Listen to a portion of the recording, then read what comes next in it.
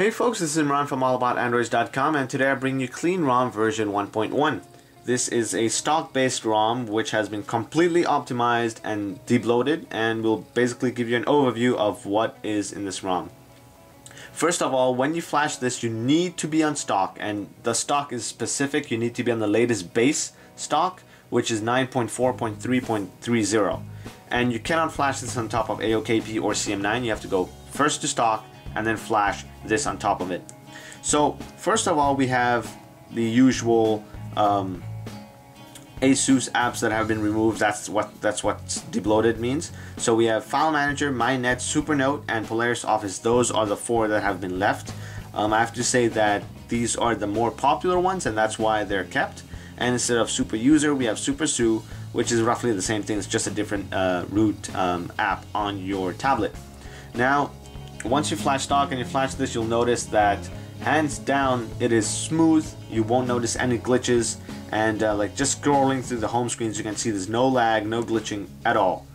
Battery life, I've used this for about a day and a half and I have to say that it's really stable. Um, I haven't noticed any rapid drops from the um, battery life so if you're watching a video or browsing the web you won't see it randomly just lose battery life. It is also deodexed and zip aligned and comes pre-installed with Adobe Flash.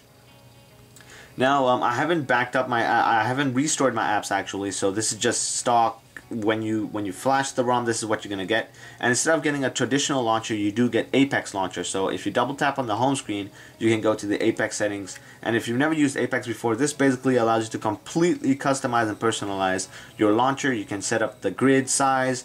You can set up uh, your drawer um, settings. You can have multiple tabs such as favorites and and downloaded or whatever you like to have. You can have a dock just like the mobile version.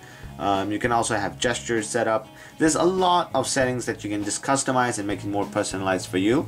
Um, the ROM also has been tweaked completely and uh, I have to say that it's really smooth a great stock-based ROM if you are into uh, if you're looking for a really stable and stock-based ROM this is definitely the choice for you and yeah that's roughly it for this overview I hope you liked the video please do comment and subscribe. We'd really appreciate it. We also have a Facebook page, a Google Plus account, and a Twitter. Please add us there as well. Thanks.